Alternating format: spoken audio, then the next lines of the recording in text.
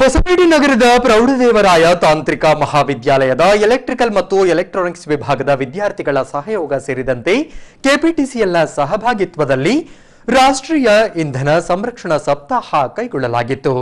ಈ ಪ್ರಯುಕ್ತ ನಗರದ ವಿವಿಧೆಡೆ ಸಂಚರಿಸಿ ರ್ಯಾಲಿ ನಡೆಸುವ ಮೂಲಕ ಇಂಧನ ಮತ್ತು ವಿದ್ಯುತ್ತನ್ನ ಮಿತವಾಗಿ ಬಳಸುವಂತೆ ಸಾರ್ವಜನಿಕರಲ್ಲಿ ಜಾಗೃತಿ ಮೂಡಿಸಲಾಯಿತು.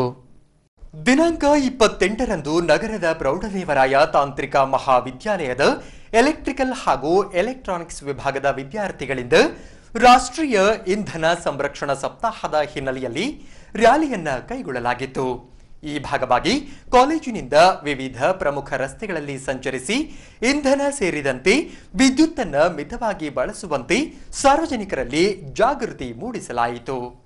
ಇನ್ನು ಇಂಧನ ಸೇರಿದಂತೆ ವಿದ್ಯುತ್ತನ್ನು ಹೇಗೆ ಬಳಸಬೇಕು ಮತ್ತು ಹೇಗೆ ಮಿತ ಬಳಕೆ ಮಾಡಬಹುದು ಎಂಬ ವಿಷಯದ ಕುರಿತು ಸಾರ್ವಜನಿಕರಲ್ಲಿ ಜಾಗೃತಿ ಮೂಡಿಸುವ ಉದ್ದೇಶದಿಂದ ಪ್ರತಿ ವರ್ಷ ಡಿಸೆಂಬರ್ ಹದಿನಾಲ್ಕರಿಂದ ರಾಷ್ಟ್ರೀಯ ಇಂಧನ ಸಂರಕ್ಷಣಾ ಸಪ್ತಾಹ ನಡೆಸಿಕೊಂಡು ಬರಲಾಗುತ್ತಿದೆ ಎಂದು ಕೆಪಿಟಿಸಿಎಲ್ ಅಧಿಕಾರಿ ಹಾಗೂ ಪಿಡಿಐಟಿ ಕಾಲೇಜಿನ ಪ್ರಾಂಶುಪಾಲರಾದ ಎಸ್ಎಂ ಶಶಿಧರ್ ತಿಳಿಸಿದ್ದಾರೆ.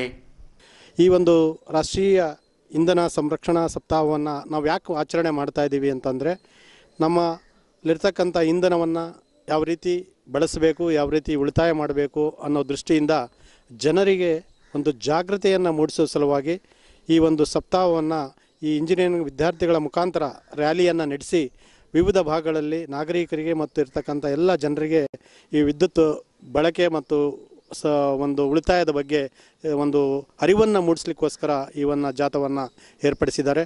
ಅದಕ್ಕೋಸ್ಕರ ಈ ದಿನ ಇಲ್ಲಿಂದ ಹೊರಟು ನಮ್ಮ ಹೊಸಪೇಟೆ ನಗರದ ಪ್ರಮುಖ ಬೀದಿಗಳಲ್ಲಿ ಎಲ್ಲರಿಗೂ ತಿಳಿಪಡಿಸಕ್ಕಂಥ ಕಾರ್ಯಕ್ರಮವನ್ನು ಇಟ್ಕೊಂಡಿದ್ದಾರೆ.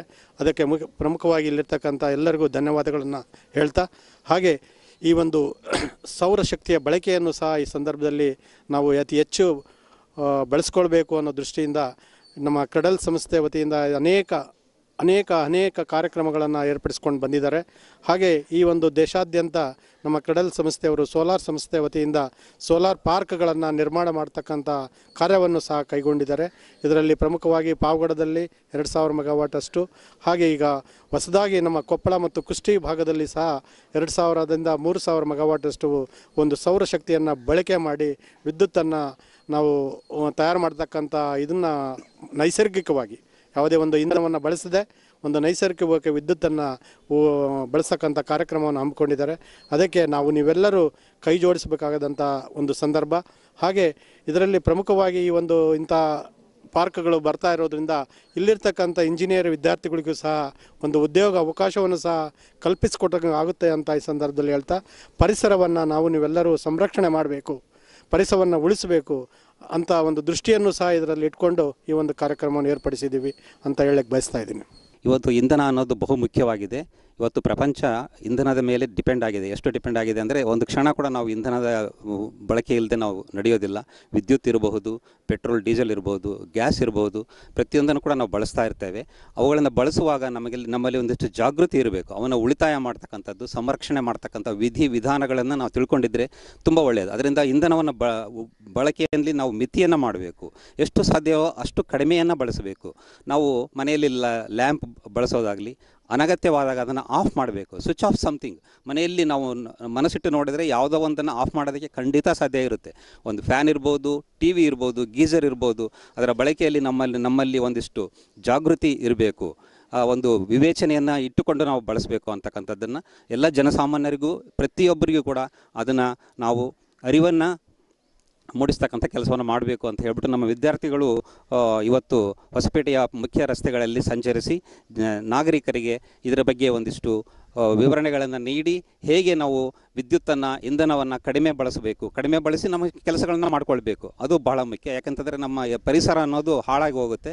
ಯಾಕಂದರೆ ನಾವು ಪೆಟ್ರೋಲ್, ಡೀಸೆಲ್ ಬಳಸ್ತಾಗಲ್ಲ ಪೊಲ್ಯೂಷನ್ ಆಗುತ್ತೆ.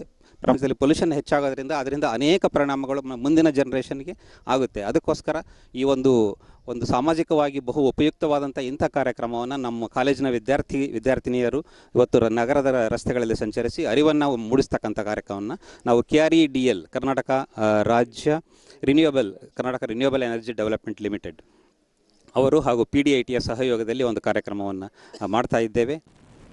ಹೊಸಪೇಟೆ ನಗರದ